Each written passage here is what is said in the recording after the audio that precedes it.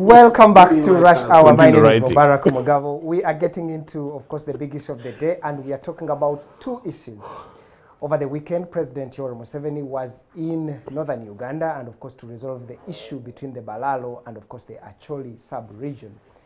Of course, he came out and directed that the Balaalo who do not have fenced farmland should immediately vacate the place because the crops of the residents are being destroyed. And he gave them three weeks to vacate that place. But initially, he had authored an executive order number three of 2023, which was recently rescinded. What happened to it? We want to look at those issues. And of course, another issue is about the Amin Idi Amin Institute, which the former Obongi County Member of Parliament, Hassan Kaps Fungaroo, had proposed, but was rejected by President Yoweri Museveni, saying that Amin's government was illegitimate and it was illegal.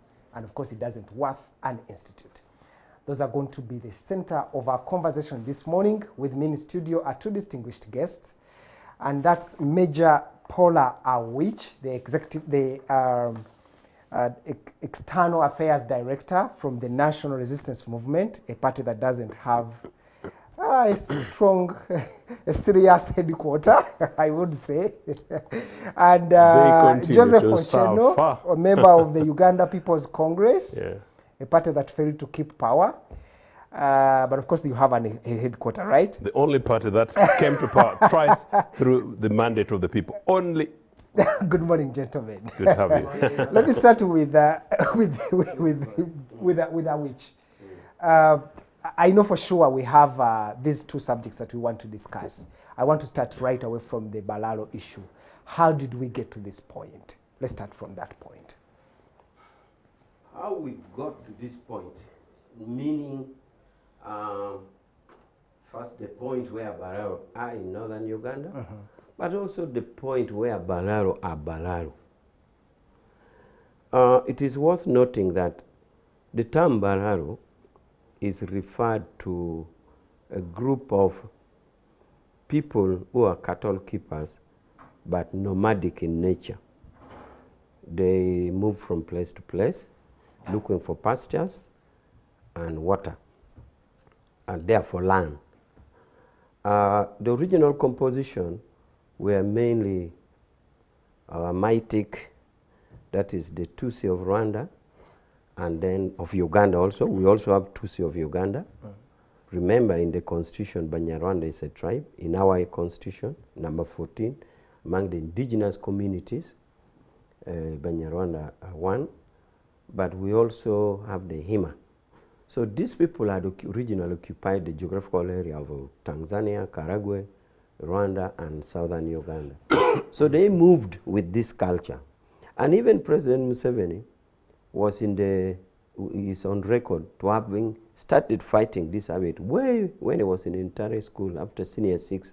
He was against movement from place to place. He tried to educate them, and he has almost succeeded in some in many districts, what you call cattle corridor. But still, these people moved. I originally before uh, Bararu used to move even to Lang or to Teso to Acholi, but in most cases they were there to look after cattle of people there. And many of them got very rich. I know for a fact that there's a man in Kiguma called, he died, he's called Kagabu. Kagabu became one of the richest with about eight kraals in thousands of cows. But Kagawa had lived in Otuke for all his life. He started by looking after people's cows and then he started getting his own and he came back eventually to Kiguma. So this is the history of the Bararu and if I was to answer your question, how we got there. So how we got there is that the traditional people who are cattle keepers, who were moving from place to place, moved all the way from the border of Tanzania, Ntungamo, Isingiro, Mbarara, uh, Sembabule, Mubende, across, across that corridor, Ngoma, Nakasongola, and now, as population grows, that is I- I'll come back to you. I want to first get, I think, an account of Joseph Ochen when they were still in government. How did you handle such issues? It's not about how we handled some very strongly emotive issues over 45 years ago, and we have a regime that has been in power for 40 years, a regime that used in part the emotions of cattle keepers in the Ankole sub-region in the early 80s while they're picking Banyarwanda Tutsis to put into uh, their camps to fight a legitimate government. They were also using these emotive things about uh, land in Ankole. In fact, 1982, thereabout, um, the Banyankole battled some of these guys. Uh, and uh, in part, Museveni used that narrative to present it that UPC was uh, opposed to Banyarwanda, Batusi, Bahima, as it were. And um, when in fact the Banyankole were literally responding to the fact that these people were occupying in part their land, but also fighting the legitimate government elected and which was very popular amongst themselves. Um, beyond that, neither here nor there. What we did as a government, starting from early independence, was to ensure that uh, we created actually the cattle corridor question. In, in part was part of our arrangement to make sure that you create enabling spaces for people who keep cattle to have spaces for grazing, people who ca keep cattle to have uh, access to cattle dips, therefore uh, making sure that uh, the cattle welfare in terms of health were catered for statutorily, and also to have access to water. We built cattle deeps across this country and up to including Tora and up to and including Inutuke. And it was no fine. That was the thing to do. As far as we are concerned at today, Mr. Museveni is the, the guy that Comrade Awich has suggested that all the way from Ntare School, Museveni needs to be held know, sometimes onto many of these things. If a Chiki Museveni, as early as in Ntare School, had the audacity to think that he had solutions for this, for 40 years, his solution now is actually to do what? To create uh, cattle corrals in Acholi sub-region, a community that needs to be compensated, a community that needs to be healed, a community that is subjected to almost a, a genocide for, for nearly 20 years. You know, so in other words, even if Mr. Museveni uh, was saying that he's giving a solution, the cheeky bit that he did the other day was to say, if you have cattle that uh, are not corralled, move away. But if you got mini kraals, stay in there. He's not offering a solution. Um, um, Mr. Museveni ought to be saying that, well, if the Balalu can move from wherever they were to go to Acholi, and I don't want to pin Comrade Awich so much onto it, without prejudice, Comrade Awich is the Director of External Affairs.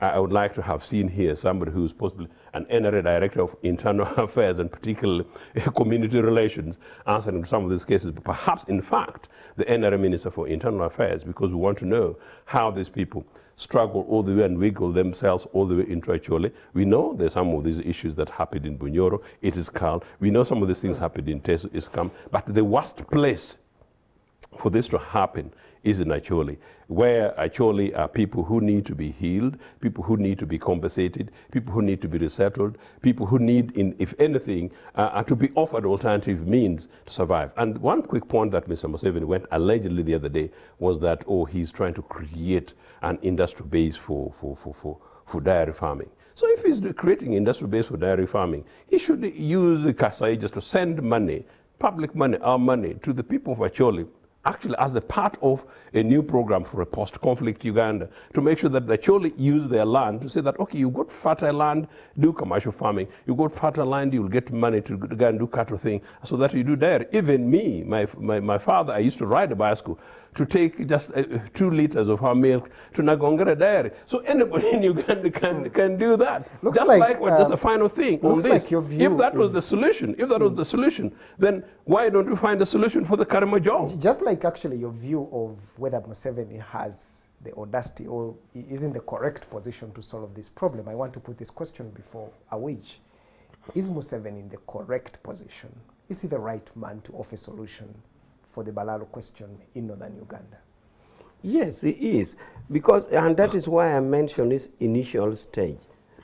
Remember, he was against this movement long before even he knew they could acquire land in Acholi. So that if he had started to talk about it now, you may, be, you may say he's talking for political reasons. But I put that to show his political commitment, to show his philosophical outlook on the problem. And he had said, no, you don't need to move from place to place. And I also like to say that his philosophical outlook on this subject matter started long ago now. These people who have moved here now, remember the people moved without his consent. Some of them actually moved with the alliance of some politicians. Some of them moved even with alliance of traditional leaders in Acholi. Now, Museveni was just imported in the question at a later stage. At a later stage where some people purported to have been hiring land, some people purported to be selling land, some traditional leaders purported to be bringing these people, and now when the pot is boiling, Selling land to the wealth balaalo, right? Yes. Now, yes, yeah. Now, when the pot is Whose boiling, commander in chief is the president? Uh-huh. command in chief of selling land, No, no, no, of, uh. of the wealthy balalo that they are talking about. the, Museveni is not a command in chief of Balaro. no, he's the commander in chief of most of the balalo that are in question. Are actually, Museveni uh, is a commander to, commander in uh, chief of Uganda yes, Armed but, Forces. But uh, which according Are you the, saying uh, there should be a commander in chief of Acholi and a commander to in the chief of, of, of of leaders in Acholi, in mm. some leaders, were, they were on TV mm. saying this that most of these balaalo that are being talked about are armed, hmm. are coming from our national forces, A- and he's the really the, the chief, the commander in chief of the armed forces, meaning that he could not be the, the right person to handle this question because I have heard this actually coming from different political analysts, and I am not shocked that Ochieno is saying so. Couldn't be there some other solution that could be, you know, probably uh, uh, be handled at another level, not from the person of the president. Then maybe what was in your mind is not what came out of your mouth. because if you put it that Museveni is the command in chief of Bararo, it has Not- a not of different. Balaalo. That's what I'm saying. That's what I'm saying. what is in your mind? people in con- That's what I'm saying. What is in your mind is different from what is coming out of your mouth. So you better package it well.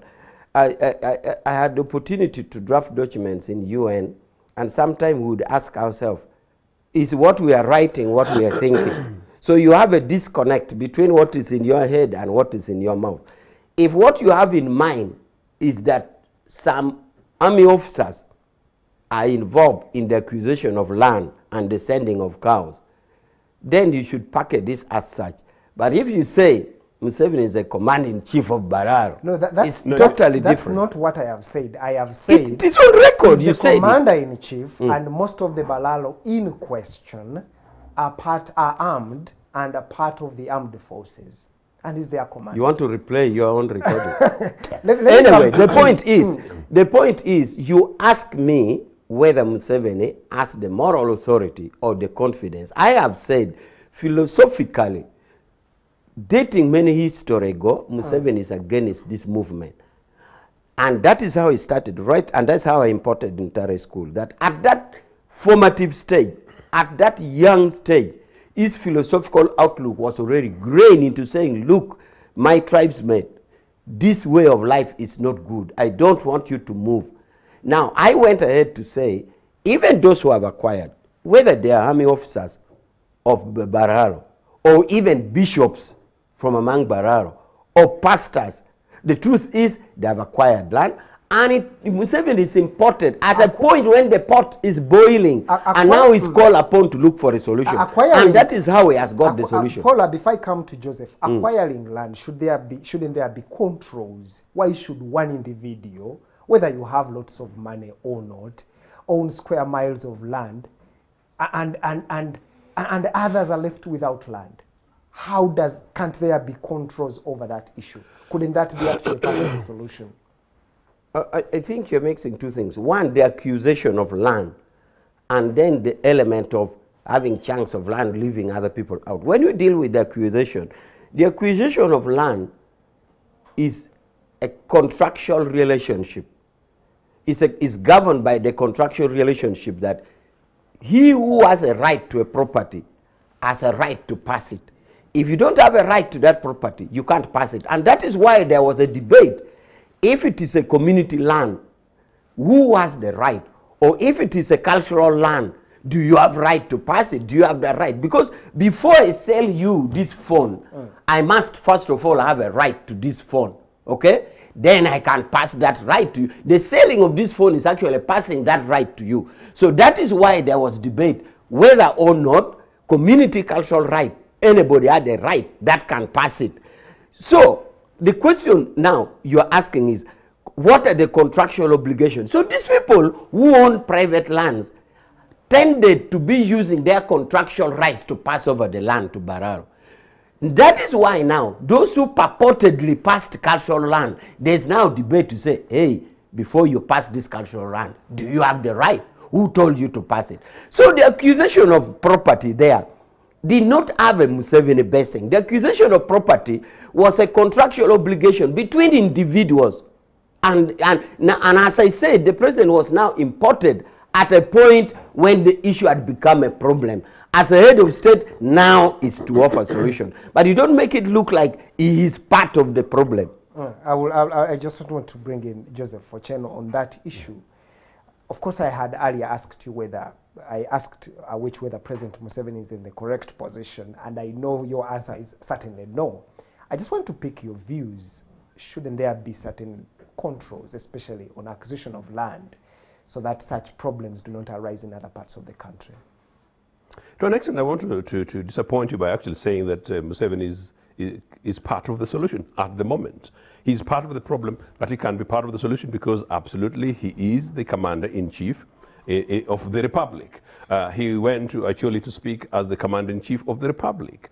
Uh, but also, I must say, uh, basically to pull on the question of land, this is an extremely sensitive matter. Land saw the lead conflict, uh, the, the, liberation movements in Southern Africa, particularly in Zimbabwe. And uh, when I look at Zimbabwe, when I look at the landless South Africans, when I look at some of my campaigns, Museveni was doing it in Ntare School uh, for, for, on, on behalf of the Balaalo. For me, I was doing it you know, as early as before Mwiri on behalf of all Africans. You know, so I, I, I take this very, very seriously. But of course, on the other hand, Comrade Awich, you need to, you know, Comrade Awich is, uh, is from Ntare School. So he's got, uh, for them, they're very tribal as, as a group. And this is very impressive. You know, these guys uh, look after each other in a, in a, very impressive way. But that said, here is a matter that um, must be dealt with very, very seriously. The question of Acholi land, the basics are these. Clearly, Mr. Museveni made a very cheeky statement the other day at a watch. Um, to suggest, as I said, I repeat, those on whose fenced land should leave. Uh, uh, uh should, should, should, should, stay. From the, when, from when the leaders was that when, crops are being destroyed, and, which is criminal, yes. And, and, he was dealing with that, but he's leaving the, the, the, core one with the guys with the money, the guys that uh, allegedly his brother claims uh, are guys or big people. In fact, I understand Museveni's brother even says Museveni doesn't understand it enough, you know, because, which is part of what you're trying to say, the big guys already have the, the, the, the, the land and they've got money. No, it's customary land who sold the customer land. So in a way, uh, Comrade Awich, the fantastic law is actually giving you some of those nuances. These are the underlying issues we need to be able to go back to. Mr. Museveni basically needs to say the Balaalo in Acholi should leave Acholi, like the Balaalo in Acholi left Teso. Uh, I mean, the Balaalo in Teso left Teso, and the Balaalo allegedly, possibly, some of them I know they're trying to figure themselves in Karamoja. This, we must have this as a national debate. You know, if there are people who've got a culture of, uh, you know, uh, piercing their ears like the, the Sabiny, we say, okay, it's okay, come and begin piercing children's ears in, uh, in, in, in Nagongrasi because it's a cultural thing. No, some of these things are cake practices. We need to put a stop to them. There's impunity in this country. You know, one of the reasons actually why I, I, I partly nearly delayed coming on air was because some funny guys in a security car took, took, took, took, hit my car, and I followed them until I got them. Turns out it's one of these uh, NRA private security to firms. I left them with the police. Do you know what? That is the impunity we have in this country. This conversation should not be where it is. The Balaalo simply need to leave Acholi and let, if there is any way to support Acholi, as I said, we need to give Acholi access to uh, uh, education. We need to uh, give access to health. But if they are Ugandans, they are, they are allowed to no, no, no, to any part of the country. Oh, oh no, no, no, and by the that's not the issue. That's not the issue. And by the way, okay, these days the politics of supermarkets. How many Acholi people have supermarkets in Barra without prejudice? How many? How many Karamojong have supermarkets in Barra without prejudice? I'm just asking. Oh, yes, we're supposed to be and allowed to be anywhere in part of the country. That's not the issue. That is an emotive, uh, uh, exploitative way to address this very fundamental issue. I know the, the Balaalo of the South Teso had the highest number of cattle in this country. What happened to them? Some of us witnessed the Karamojong of the south bringing cattle towards Kampala. Some of those issues have never been addressed. And in fact, today, some of the things which must be on Mr. Museveni's desk is the compensation for cattle in Teso, compensation for cattle in Lango, compensation for cattle, and many other things in Achole, including in my own Nagongera Padol. In fact, as of today, there's a demonstration not only along Nagonga, uh, uh, that Nagongera Road and Smes in Nagongera. I'm put in context, you know, a road that should have been done over 40 years. But part of it is that in our community, there are people who are chased from, uh, from Luwero, and nobody has ever looked at them. So this business of people can be able to live anywhere is neither here nor there. You can live there. We had Balaalo in Nagongera, and I remember seeing them very well. But no, the Balela, as Comrade Rich is saying, we're looking after cattle. They were not grabbing our land. But this is a different one. I want to bring in Awich here. Couldn't there be politicians, for example, in Acholi and Lango and certainly northern Uganda who are taking advantage of this, uh, advancing their political agenda using this Balaalo question? And don't you think that this is going to cost the NRM having enjoyed some support in the recent years in northern Uganda? Yes, uh, definitely there must be politicians who take advantage. You know, politicians, uh, at least our current dispensation of politicians, they want uh, ideas that win them votes, and therefore anybody will take advantage of rhetoric to do that. And especially if it turns out that it's a popular opinion of voters, then each and every politician will want to take ad advantage of that. In fact, it becomes a game of comp competition. Who talks strongest against this subject matter? Who talks fiercest against this subject matter? It becomes now a competition because you know that that is what the voters want. But uh, as NRM, it doesn't make, make much difference because for us, uh, we want a solution to a problem. If the problem in actually is that, it should be identified and solved as such. Mm. So whichever politician will want to take advantage of it does it. And I think now, since Museveni and his position is mentioned again, he has he issued a short statement. Why don't I share with the viewers? It's not a very long thing. So that we're on the same page because it is on social media, but not everybody has read it. Can I? No, but, but, but you, you're going to, you're going no, to you share, guys, you've got, you, you, you're going to share this media, one after this very short yeah. break because I want to, you know, conclude that subject and then go to the issue of Idi Amin Institute he deposited Joseph Ochieno and certainly Joseph Ochieno, you party. That, that, that is actually very simplistic. Idi and, Amin, and your party overthrew deposed, the, deposited the, then, the then we shall have one, we shall have one minute before the break. We will, we will, we will, no, no, we will have Amin, of, Amin overthrew the legitimate elected government of Uganda. In fact, when Amin overthrew our government, Museveni was a tiny little kid. That's in literally what I was talking about. the government of the people of Uganda. Let's and take a break. Coming back like Museveni overthrew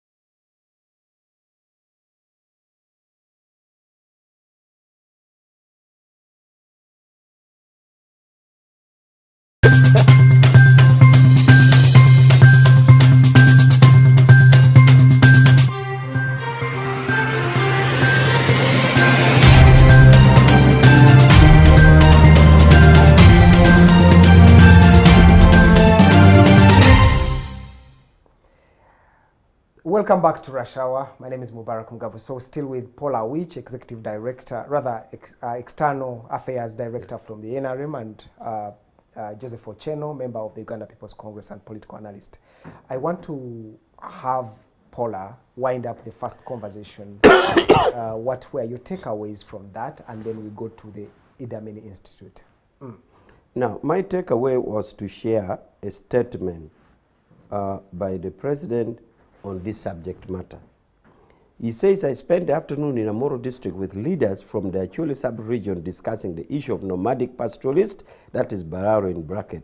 After listening to various issues raised, I guided as follows. One, destruction of crops. I directed the UPDF division commander, RPC, and the minister from northern Uganda to ensure that anybody with cows in unfenced area in Acholi, Lango, and West Nile sub-regions to leave immediately, but in any case not later than three weeks from today. Two, land ownership. I will hold further discussions at a later date with the two groups. Those are aligned to the executive order three and those who are not on the issue of ownership and renting in the region. Three, cultural clashes, passions engaged in practices that are not compatible with the traditional norms of a Chole community should desist with immediate effect. Four, government land. Anybody occupying government land, as Waranj, Lakang, land acquired from a Divani group, etc., must leave with immediate effect, but in any case, not later than three weeks from today. Five, and the last one, dairy farming. Government shall support the development of the dairy industry in Acholi sub-region. So, you can see that this is work in progress, especially in number, uh, number two, land ownership. He says, I will hold further discussions at a later date with the two groups. So meaning that the president has not yet gathered enough information on, uh, uh, to make an informed decision on land ownership. Yeah, because as I said, there's a debate that uh, the, the acquisition of land is a contractual relationship. But then some people argue that to that, there must be an exception to this subject matter, even when it is. You want to make a freedom. rejoinder? It, it is before- actually shocking. You know, the entirety of the whole thing is a mess, and I really don't think we have enough time. I wish it was a whole subject for the next for the next session. Uh, from number one to five, I don't want to go into this, but number three, you cannot talk culture one, on one hand and then remove culture fully and then dump culture uh, on the back on that uh, executive order. Number number five, particularly, is very interesting.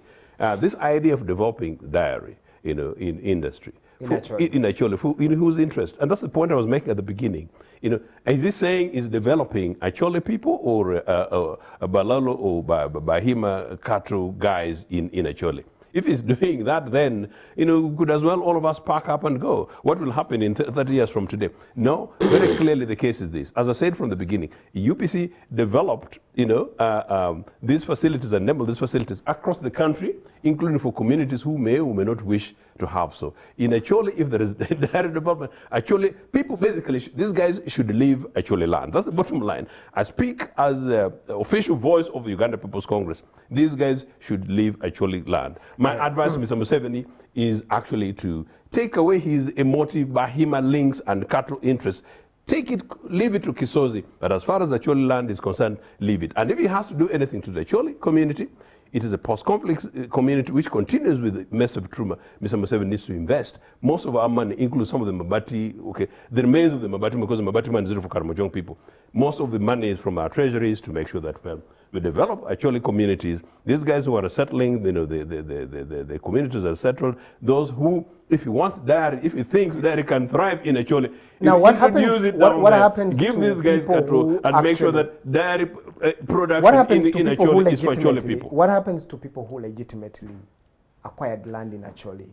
And, and certainly they are, they are those people you know, if who you, if, if, if, and if, Ugandans. if you Mm. buy a stolen good, then you, you know, tell me, the Uganda law is here. All right, let's move on to the another subject matter, and that's the issue of the Idi Amin Institute. I want to start with Paul Awich. Your president said, to hell, it's not going to happen. Idi Amin's government was illegal, and an institute which was proposed by Hassan Kaps Fungaroo, who is the former member for Obongi County, to remember the good things that Idi Amin did for this country.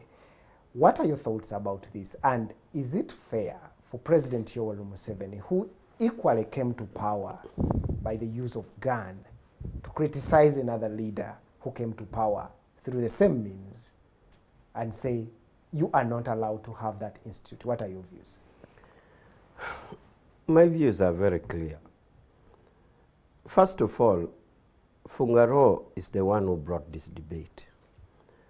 And I wondered what mandate he had to bring this debate. He's a leader in West Because mm. when it is a matter concerning a person, the family are concerned. Even if this person is a bishop or this person is a president, okay? Uh, e- even if this uh, this uh, person is a bi- uh, archbishop, for, for example, the case of Anglican, or even the Catholic, they are brothers and sisters. So to, to discuss about this person, you need the family consent. For example, uh, Musazi. Musazi is buried in Kololo. It took a lot of government engagement to convince the family that they, he be taken to Kololo. Now, Fungaroo starts this debate. Amin's son come out and said, no, no, no, we don't want that. Actually, Amin's son said it is an intelligence trap to trap them into that. They don't want. So what mandate does Fungaroo have to deep up into this debate, which has attracted the letter from the president? Two is that you mentioned the method of coming to power. Uh, in constitutional theory, there's a man, a renowned man called Kelsen. Kelsen. Kelsen says, if you take over government by power, as long as you establish a legal regime, your government becomes legitimate. legitimate. Mus- uh, Amin did the same thing. Obote, uh, I mean, Museveni did the same thing. Museveni came through power through legal notice number one of 1986. Okay? And that's the legal notice that gave uh, the reign of power to NRM, to Museveni. So you could argue that they came through the same. But Kelsen's theory was in 1920 because he was a judge in the Constitutional Court, Court of Austria, mm. Supreme Consti- Constitutional Court of Austria. But this theory has been enriched now by saying if you take over power by unconstitutional means, please give back power to the people. And the only way you give it back is through a, a- a- a periodic elections. and that is what Museveni has done. Now, Amin didn't do that. Now, if you see further, Amin did not now develop Kelsen theory by giving power to the people, which Museveni did. He went ahead by his acts. For example, you know that in current governance, you need three arms of government. You need the executive, you need the judiciary, you need the, the legislature. Amin removed the lawmaking arm and he remained with two arms. That is the executive and the judiciary. Even this judiciary, the appellate role was limited. For example, those who are put on firing squad had no right of appeal. In NRM, for example, the army has firing squad in its legal system. But army courts are appealable up to Supreme Court. There's a point where the army courts merges with civilian courts at the appeal level. The army can set their court martial, court martial, but there's court martial, general court martial, there's court martial appeal. Then from court martial appeal, you go to the ordinary civilian courts in your appellate level. And now Amin decides to say, we don't want that. Second, anyway, to that effect, even without fear, Amin declared, I am the life president. Okay? You could i- rules of election. Your party recently passed a resolution that Museveni is the candidate for 2020. That is candidate of and a party. That is candidate How of a party. different party. is the NRM and the ANU? No, that is candidate of a party. It- it- a party is an association of willing persons. A party is an association of willing persons. If the willing persons are willing to offer their candidate, so be it. But don't bring your candidate to be permanent as life president. He has to be subjected. Okay, Apart from that, you know, General agreed Amin's regime was a fascist regime. And fascism is condemned well over. Right now, Hitler regime in Germany was fascist. You can you have seen many German footballers. Have you ever seen a German footballer called Hitler? That Hitler with the ball, Hitler with the ball. Even the name alone can't. Where Hitler was born finally in Austria, They are now dismantling the house because there were new Nazis coming and they wanted it as a shrine. So they said, no, to- we can't adore I want, fascism. I want to bring and that is the Joseph. best of Uh, Museveni's Joseph, what are your views about this? Because it looks like it's a very controversial subject. Mm. No, I, I like the way the, the entire school boys have got to push their feet and then even to pick an Austrian position and then uh, uh, make it a, a- legitimate ground for which to, to sneak off Idi Amin. No, Museveni and Amin are the same guys. They came the same way and they've subjected this country to the same mess. The only thing is that in Amin's case, we fought him vehemently uh, uh, earlier in a very organized way and we managed to get rid of him in, in, in nine years in um, some of the lessons we had, including post Amin, is that uh, in, in UPC's case, we chose to, to fight Museveni political, legal, and diplomatically. I've said it several times that had we opted to fight Museveni the way we did with Amin, Museveni wouldn't be there. But that said, Museveni has got now 40 years in power. What Museveni has done in 40 years and what Amin did in, in, in nine years, if you compare in terms of human rights abuses, you can go to the legalistic way, they're just about the same. If you go and reject and accord in, on, on economic terms, um, there are certain few things Amin did under very difficult circumstances that people give him credit. I don't, in many cases. If you talk about the fact that uh, you know we have uh, uh, uh, uh, Museveni gave power back to the people. No, Museveni, you know, invited the uh, people back to a high table which they had, he had removed people. Simply said, well, you can have a little bit of a cup of tea there, you know, you know, uh, but at, on, on my terms. You know, uh, Museveni calls the National Assembly his. Museveni calls the judiciary neither here nor there. Um, the presidency is now being turned into, family thing. You know, how, what, what, what comparison? If you consider the circumstance under which Ugandans lived in the meantime and the circumstance in which Ugandans lived, only yesterday I was talking to fantastic young Teso, Teso, Teso, Teso twins, you know, very fantastic young guys. They're surprised that their father had free education in Ma- Ma- and they're surprised that their mother, who was a, a grade two teacher, had the free education to go and, and to teach and become a teacher. And not only that, that their father was paid to go and travel all the way from Bukedea, ironically from, from Bukedea, uh, to come to Makerere, and that they paid uh, paid salaries. So And that is- Congress, do you want a mean that, that is that is up to that is up to do you want a 1976. mean institute? I'm waiting for Joseph No, no, to say, that is- I think that the is- Amin Institute that is, is right, up is to- a right proposal. No, he's up going to on 60, Museveni. up to 60, up, up to 90, halfway a means time, you know, education in this country was 10 times better than the mess that Museveni has put in here. In, so therefore, the question of the institute, Museveni does not have uh, the moral ground, the moral basis. Let's talk about to- the No, no, no, substance of that's the issue. Museveni does, Does not. Amin no, deserve- Museveni, Is Amin deserving the only reason we are having this conversation is that Fungaroo put the proposal. Granted, he may or may not have a discussion with the family, and some of these families can be very divided, you know, and on, on the one hand. But there are two that Mr. Museveni comes and writes, and so it becomes a very important thing. Mr. Museveni does not have a moral basis, because Museveni and Amin, you know, we can have a discussion on, on the comparison, the, the, the, the, you know, where the, similarities and uh, dissimilarities, but they are really all the same. And in fact, if you consider what the Balaalo are doing in, in Acholi, if you consider what the Balaalo did in Teso, if you consider what the Balaalo have Joseph, done in, as, in, as in, in whether, Joseph, you know, I, I- and, I and- just want to bring and, you and back if you to consider, the same question yeah, as to whether Museveni has the moral authority he doesn't. to, to, to allow or disallow this institute is another matter. I just want you to address the question of whether, as to whether Amin deserve an institute and is it proper for other leaders in, in suddenly a way, to have in a, institutes? in a way, if Amin's family, uh, that's what I agree. If Amin's family chose that they wanted to have an element of re- remembrance for their father, you know, or Aminists decided that they want to have a semblance of remembrance for their man, you know, in, in, in a free society, there's no reason why such a consideration would be made. Does it become a matter for national, national, national conversation? You know, no.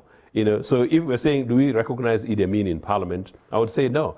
Do we say that we recognize Museveni in parliament? I would say no, because both of them came without the mandate of the people of this country, and both of them have held this country hostage. Does mean Institute, in this case, because Fungaroo chose, it's neither here nor there, and that's part of the debate. So from uh, the, the perspective, from my personal perspective, Amin's family have got a right to remember Amin in whatever way they choose, just like Musevenists have got a way to remember their I Museveni thought Amin by is, whatever is way. just far beyond his family. He, he wasn't president of this country.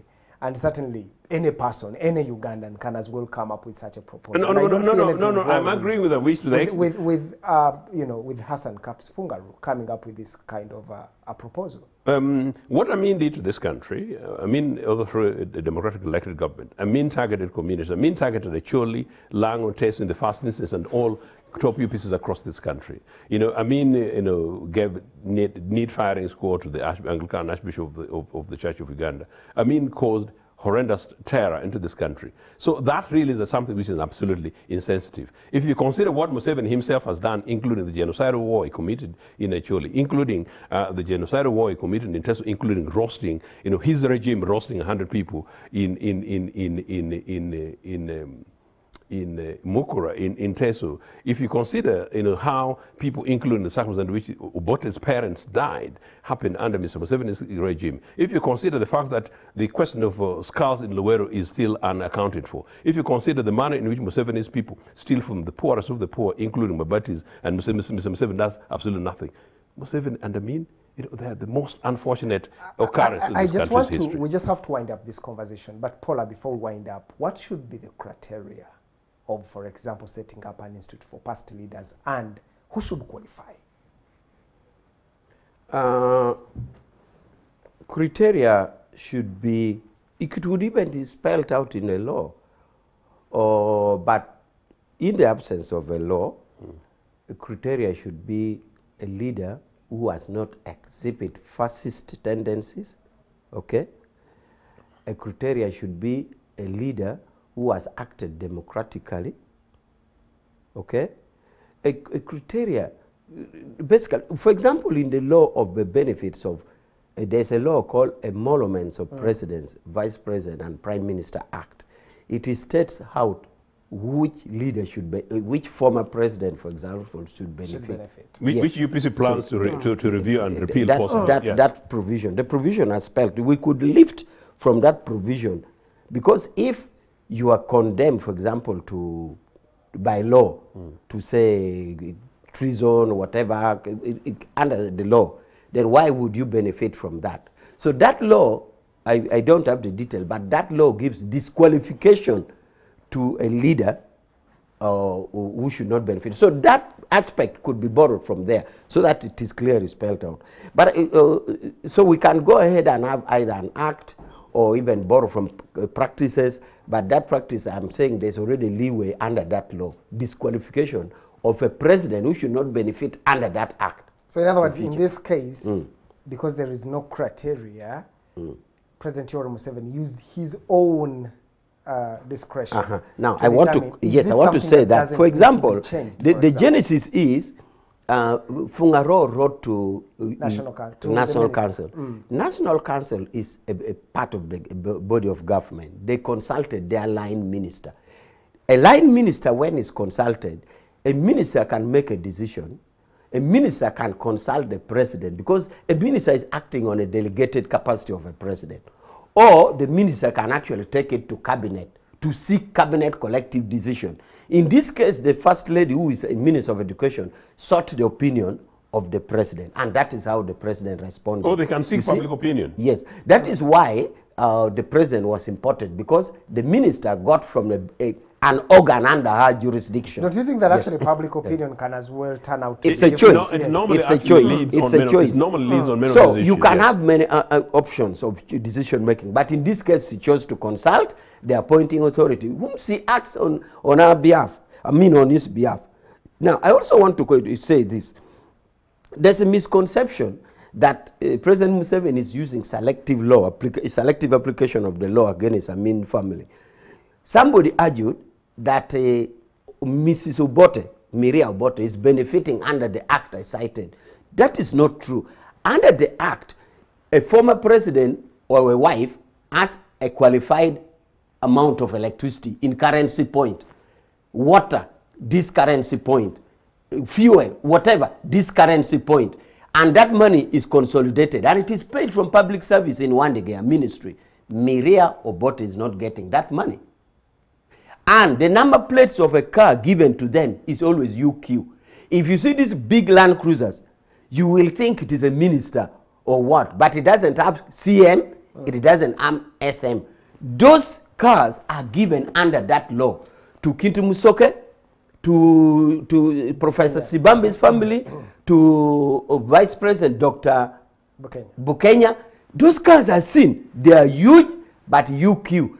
Usually you want to say, but this car is huge and UQ It's doesn't have service. company. Mm. It is under those laws. So, So wh- wh- Miria wh- why- is why not Mama getting Miriam not getting it. because the law gives exception that the beneficiary are presidents from the 95 i mean leaders from the 95 constitution that, that I said that's one of the things. Is, no, that is why the, the then the blame it on the lawmakers NRA, That's one of the you can try the amendment Yes, yes. you can try the amendment in parliament that, but that is what the law is for us when and, we it, and it was done deliberately because you, the you see, co- congressman, presumed for, for us, Uganda even when we are exist studying law at the But the 1995. university, UPC is in good cooperation with NRM. They You- can you see- No, no, uh, they're funny individuals yes. who are eating this money. Oh, this NRA. now becomes a quarrel. We are not it's listening to it's- each other. It's not a quarrel. We are not listening to each It- other. It is absolutely extraordinary, you know, that this law, particular law, and I take it on behalf of Mama Miri and on behalf of the people of this country. Mama Miri is the first, first lady of the republic. She's the mother of this nation. Her husband was given, granted the instrument of ind- independence, governed this country twice since independence. How could the makers of an NRA 1995 constitution uh, uh, choose not to do that? But of course they did because they thought Obote was gone. The fact that to date this has not been uh, repealed, reconsidered, and the fact that Mr. Museveni, coming from a which did not, a watch, did not even think about saying that, look, telling his parliament... Can I this say thing be- something? He's it is finishing all the time. That this He's thing should be finishing it. reviewed. yes. Now, about that is this. The law is what it is. For us, when we are studying law at the university in Makerere, you'd see a bad law, but they'll tell you, me, I'm a, telling you what the law Yeah. is. If you want to change, go to parliament. yeah. I'm a professor of law. So I'm telling you what the law is. But when I inquired, First of all, that law, there's what we call cross-referencing. Mm. That law has cross-reference to another law that governs those presidents. They said for the purpose of this law, presidents before 95 constitution, they should proceed under this law. It doesn't leave them. All right. I thank you Doesn't so much. leave Joseph, them. thank you. Thank you so much, Paula, for the time that uh, you have actually. So long as the Balaalo leave Acholi alone and Mr. Museveni we are injects running out of time. to Let's take a short break. We are returning with the Rush Talk. Mais Ramit is coming back with HIV AIDS patient, and of course, they are talking about the HIV AIDS and, of course, treatment, uh, management, and certainly prevention of that virus. We are taking a break. We are coming back after this short while. Have a good morning. So, as long as the. I love that. Let's take a break.